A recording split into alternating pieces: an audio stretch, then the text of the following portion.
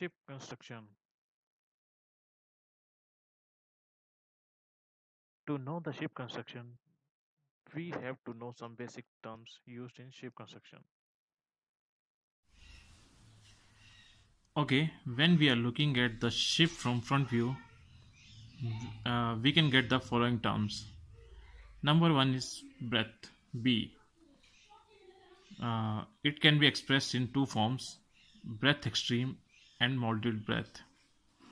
Breadth extreme is the maximum beam wherever it occurs on the hull. It may be above or below the water level. This is known as breadth extreme. Now other is breadth molded. It is the maximum breadth or beam of the ship measured inside the inner shell strakes of plating and usually occurs on amidship. There is a plate thickness and inside this thickness the breadth which is known as molded breadth. Then draft of ship is coming. Draft of ship is measured as molded draft which is the distance from the baseline to the waterline. Here it is the baseline and here it is the waterline and this is draft. Depth molded this is a vertical distance between the molded baseline and the top of the beams of the uppermost continuous stack measured at the side of ship.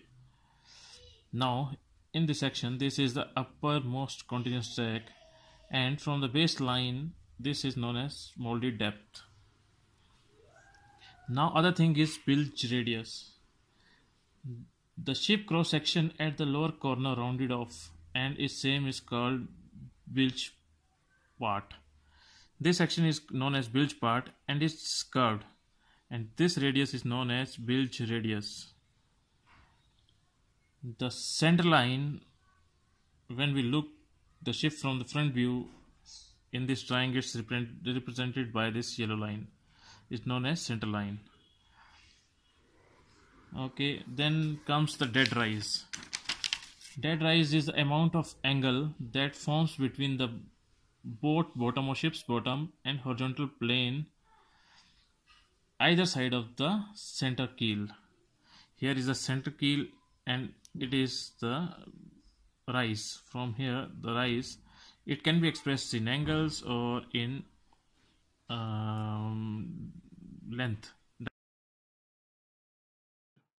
The sheer is measure of longitudinal main deck curvature in naval architecture.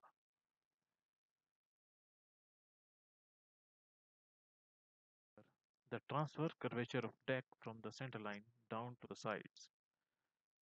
This camber is used on the exposed deck to drive water out of the ship. In this same figure, the rise of floor or dead rise is also shown. We can see a perpendicular. It is taken at the aft side of the rudder post. On the forward side, we can see forward perpendicular. It is a vertical line that intersects the forward side of the stem with the summer load line.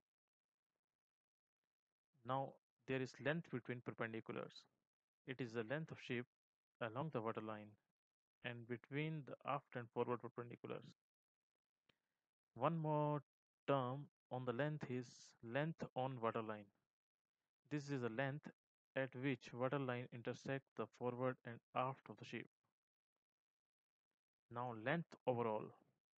Maximum length of the ship from forward to aft.